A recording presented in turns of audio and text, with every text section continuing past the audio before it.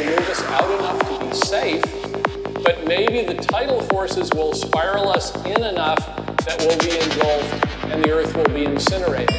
And if you come back in five